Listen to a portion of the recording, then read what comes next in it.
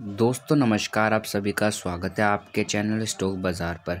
दोस्तों, आज हम बात करने वाले हैं, दोस्तों, एक कंपनी का डीमर्जर की आज न्यूज़ हमें देखने को मिल जाती है इंडियन मार्केट में।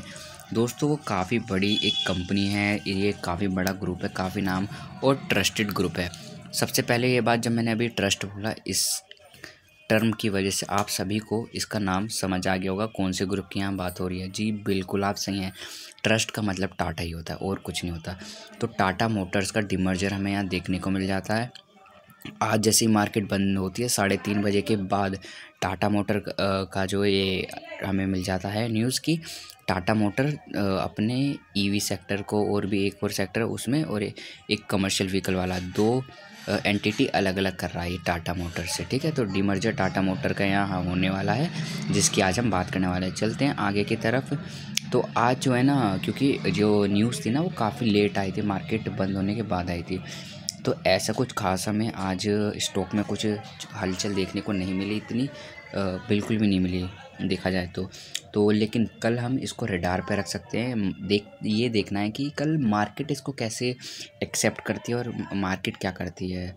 मार्केट इसको लेके बुलिश होती है या बियरिश ठीक है? तो कल मार्केट का व्यू और देख लेंगे इसके लिए। तो देखिए I on higher growth Tata motor to be demerge its business into two listed companies passenger और कमर्शियल, ठीक है? तो वो जो कमर्शियल गाड़ियाँ होती हैं ना टाटा जी की तो उसको एक अलग एंटिटी या एक अलग कंपनी बनाएँगे वो और एक जो पैसेंजर वाला जो सेगमेंट होता है ना, जैसे लैंड रोवर होगा या अभी जो ईवी निकाली हैं या और भी टाटा की जो गाड़ियाँ ना, पैसेंजर वाली, उनकी एक अलग कंपनी बनाएँगे, ठीक है? तो दो टू लिस्टेड कंपनीज़, पैसेंजर और कमर्शियल के लिए बनाना चाहते हैं, ठीक है? तो इससे इनकी ग्रोथ में भी एक अच्छा इजाफा या फिर ग्रोथ देखने को मिल जाएगी, ठीक है? तो दोस्तों, यहाँ देखिए, Tata motor on Monday inform that it will demerge its vision into two separate listed company, one entity will house commercial vehicle commercial vehicle आप जानते हैं सब business and its related investment ठीक है? तो एक, जैसा मैंने अभी प्रीवियस स्लाइड में भी आपको समझा दिया था कि एक एंटिटी या एक बिज़नेस होगा जो डीमर्जर के बाद होगा कमर्शियल व्हीकल का होगा और जो अदर विल भी पैसेंजर व्हीकल पैसेंजर व्हीकल में क्या क्या आ जाते हैं? पहला देखिए, एक तो पैसेंजर व्हीकल इलेक्ट्रिक व्हीकल और यहाँ देखिए, आगे एक और लिखा है, कट गया थोड़ा, मैं आपको दिखा देता हूँ अगली स्लाइड में।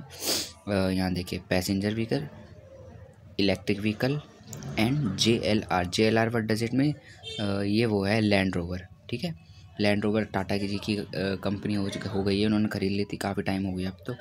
तो ये सब अब टाटा जी के, उसमें टाटा जी क्या चाहते हैं, अब इस, ये जो टाटा मोटर क्योंकि स्टॉक काफ़ी भाग चुका है, अब इसका डीमर्जर होगा, दो कंपनी अलग अलग बन जाएँगी, एक बिज़नेस यानी कि कमर्शियल व्हीकल में अलग चली जाएगी और यहाँ पे पैसेंजर व्हीकल में हमें अलग देखने को मिल जाएगी कंपनी ठीक है तो दोस्तों, आज की यही एक इम्पोर्टेंट अपडेट आई थी और एक और थी भेल से रिलेटेड भेल में काफ़ी एक बड़ा कॉन्टैक्ट मिला है तो कल भेल जो है, एक काफ़ी अच्छे उसमें एक ऊपर के ट्रेंड में हमें देखने को मिल सकता है कल, ठीक है?